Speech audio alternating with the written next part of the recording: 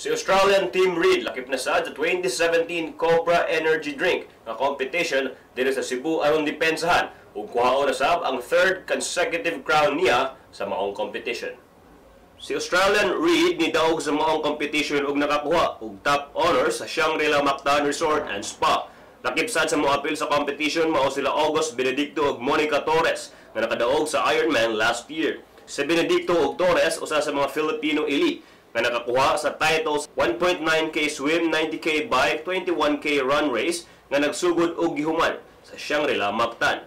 Sa pagkakaroon na doon na record nga 51 countries and a rooster of 2,696 participants ang ni-sign up alang sa events nga gi-organize sa Sunrise Events Incorporated.